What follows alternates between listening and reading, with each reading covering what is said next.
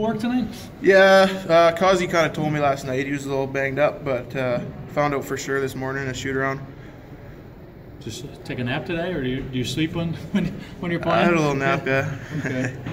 How'd you think it went overall?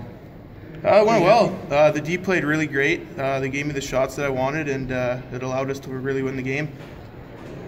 Talk about the five on three kill there. I know they kind of scored right after it, but you guys still put up a good fight there for those whole two minutes. Yeah, again, like I owe it to the D. Uh, they did exactly what I wanted them to do and gave me the shots I wanted. So it all goes out to them, man. They did everything for me tonight.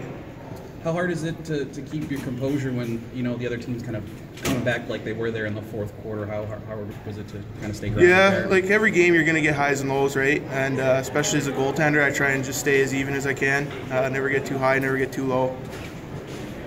Maybe the most memorable thing of the night though was the penalty you took instead of the saves you made. That was I think we a lot of people enjoyed you taking a swipe there at Evans like that. Yeah, um, you know, he doesn't uh, he doesn't go in there. That's my area, so that's what's gonna happen to anyone who goes in there.